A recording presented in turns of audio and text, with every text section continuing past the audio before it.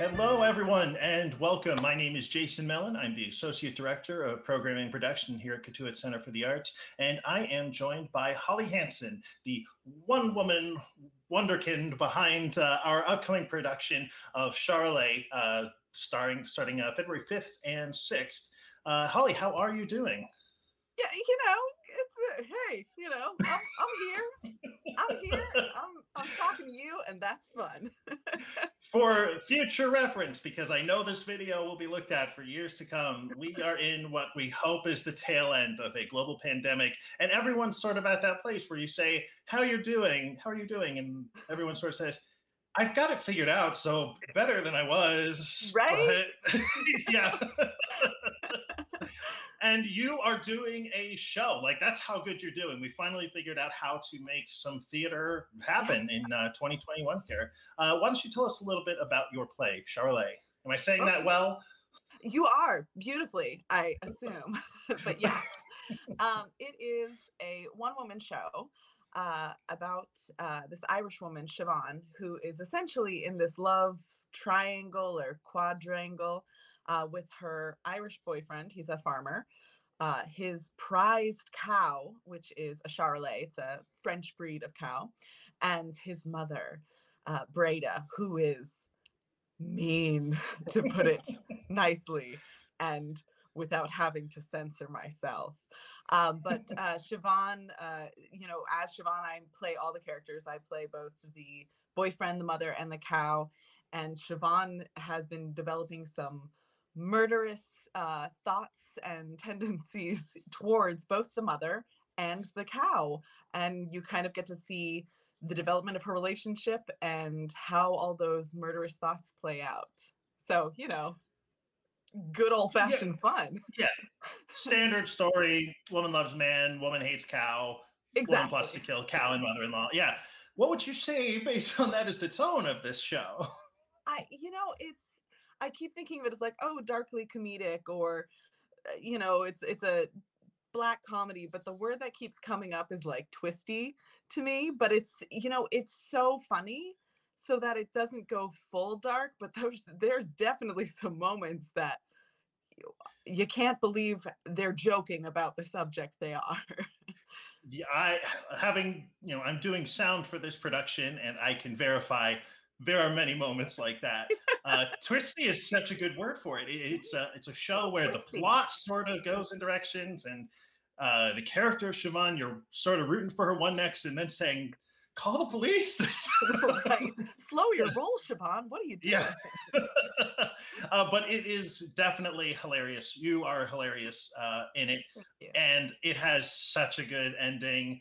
I've talked to a couple people, you know, about the plot of the show, and I always say, and then the ending, and then they, some of them say, "Well, I don't care about spoilers. Tell me what it is." And when I tell them, they're just, yeah, it's very, uh, it's exciting, which is rare in a one-person show because you, you have one. It's hard to do action a lot just by on, yourself. Yeah. Uh huh. But uh, it's a fantastic ending, and like you said, it is definitely uh, very funny to do. Uh, have you done a one person show like this before? I have not. Um, this was definitely uh, a daunting task initially, um, but I was excited for the challenge and it was just, you know, it was an honor just to be asked, but it was even better to like get to, you know, to do this thing and to put the work in, um, especially at a time where you really can't be doing a lot of super collaborative theater at the moment uh, because sure, of social yeah. distancing. Um, obviously, we you know stayed well within safe parameters and we're super safe with that. But it was only really for the majority of the time myself and the director Tara Galvin in the room, far apart and well masked. Um, there was something very intimate about that. Um, uh, not having done a one person show before, it's just you and the director the whole time and the work that you get to do because of that the focus um, is really remarkable you know it was a really enriching experience even you know aside from the fact of oh man it's just me talking the whole time Well, was it? Uh, I'm curious what it was like working with Tara. Uh, Tara, you know, has directed shows in our Black Box. She's a longtime stage manager, a very familiar face to performers. Uh, you know, here at Cotuit Center for the Arts. Uh, what did she say about why she wanted to do this show uh, with you? You know, it was. Um, I've never actually worked with Tara before, outside of things like Entertainment Tonight, where she's you know stage managed the entire mm-hmm. um, talent um, portion of the evening. Um, I've never actually gotten to work with her one on one uh, and she sent me an email and you know she had been discussing this play uh, with uh, mary arnault um, and they were talking about oh possibilities for this and my name came up which i take as a huge compliment that they thought of me for this especially having not worked in like worked with tara before um, and you know she sent me you know the script and she was like check it out. Then let me know how you feel because she was aware of its kind of you know little bit wicked, little bit dark kind of vibe. Um, and as soon as I read it, I was like, oh yeah, I'm totally in. like, I think I was in by the end of the first paragraph. And it's just been lovely with Tara. Like, there's a lot of opportunity to bounce back and forth about ideas. Um, you know, in a selfish way, I'm like, great. I was the only actor she had to talk to during this. So I got all of her focus. Um, but it was really great. We developed, I feel like, a good rapport and a good understanding of each other and how we both work and how we work with that material. Yeah, she was balancing a lot. Uh, if you don't know, she directed two shows at the same time, uh, two one-woman shows. Uh, I'll put a link to a, a, video about the other one uh, on the, this video as well. Uh, the Humours of Bandon, starring uh, Emma Fitzpatrick but uh, she had a, a, lot to balance. And I know early on in the process, uh, you know, she talked to David about doing these shows.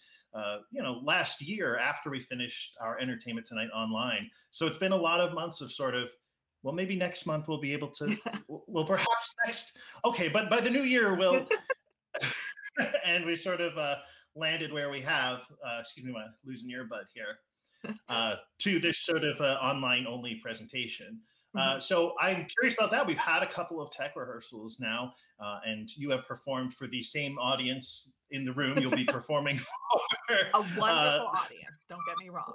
A, thank you. I, of less than five. it's really just the the tech managers and Tara who are, are watching this over and over again. Uh, you know, I'm an actor myself, and I'm watching you do it, and I cannot imagine what it feels like to know that there's not going to be anybody there.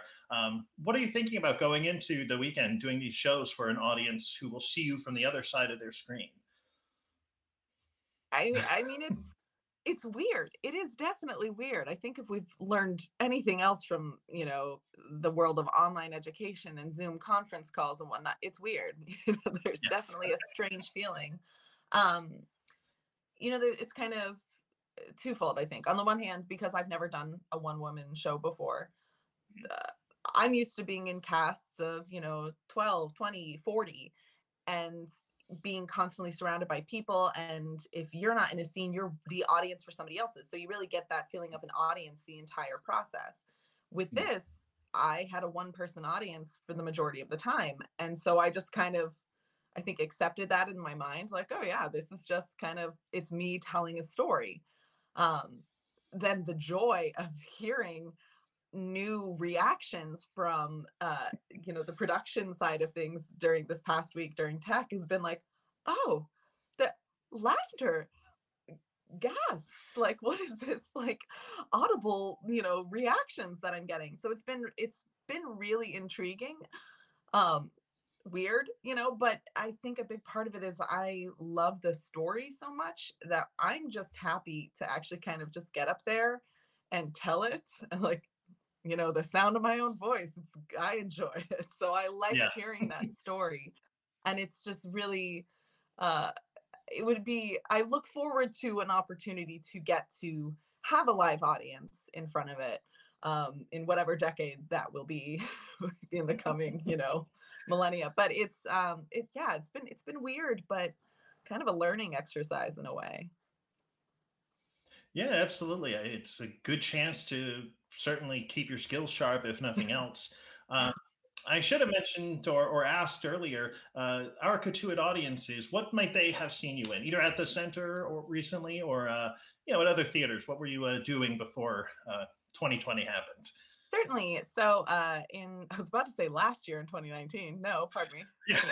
A year and a I know, ago. that won't end. I feel it. five years ago in 2019, um, I was Beatrice in Much Ado About Nothing, um, which was during the summer of 2019 at Cotuit. Uh, they might have also seen me as Miss Hannigan uh, in the uh, Annie Part Two Electric Boogaloo Second Round Edition. Um, uh, let's see, right before everything shut down, I closed a production of Assassins uh, over at the Eventide Theater Company. Yes, yeah, Um, it's a great- yeah so i had i had a blast uh, i was glad i got to close the show before then but i was also in rehearsals for Spamalot uh, over at four seas at the tilden arts center which unfortunately we had to let's say postpone um, until you know things return. Um, so yeah they might know me from that maybe? I- i hope they do. did see you as Beatrice uh, in uh, Much Ado About Nothing, I cannot recommend you watch this play enough. I mean, the characters couldn't be more different, uh, but the way you sort of command the stage in, in both roles, you were absolutely phenomenal uh, as Beatrice. Uh, and they both have this sort of presence, this sort of magnetism, and you have this great ability to just hold your attention for a long period of time. So you had, I mean, it was Shakespeare, so of course you had many monologues in that show, and now you just have one extended one. So super long super extended. You just don't stop. just it's not hard to do a one person show, right? Just keep start talking and don't stop. Oh, well, I am very much uh, looking forward to being able to share uh, your performance uh, with the folks at home. Uh, let me uh, head over here. So, uh, again, that's uh, Charolais. That's running uh, this Friday, the 5th, and at 7.30. And we have a matinee performance on Saturday at 2.30. Uh, and then starting next week, you'll be able to rent the uh, performance at home uh, and watch it on your own time if you can't catch it live, which is uh, a pretty cool feature. Uh, a lot of sort of uh, theater rights organizations have been really good about helping you know community theaters uh, you know of our size be a little flexible in how we're presenting material. Um, so holly do you have uh, anything else uh, you wanted to add? Anything you wanted to say to our audience before we go? Goodness i i just i hope they get a chance to see it and enjoy it and that they continue to support their local arts organizations as we all kind of figure our way out through this crazy crazy time Absolutely. Uh, you should know that if you do make a purchase, and please check the description of this video, um, you'll see exactly uh, where and how to uh, purchase the live stream or the rental starting uh, starting next week on the 11th. Uh, the proceeds are split between the center and the artist, so you are supporting artists, you're supporting the art center, uh, and it's been a long time since anyone has been able to do theater. So your support means so much now, more than ever. Um, but really we're just hoping to give you something until we can finally get back to doing uh, what artists like Ali, like myself, like uh, Tara and Emma and the other show want to do, which is perform uh, live theater for you and with you. So thank you so much to uh, Holly for coming out and uh, doing a little interview with us. Uh, and I encourage everyone at home to moo it at Cotuit.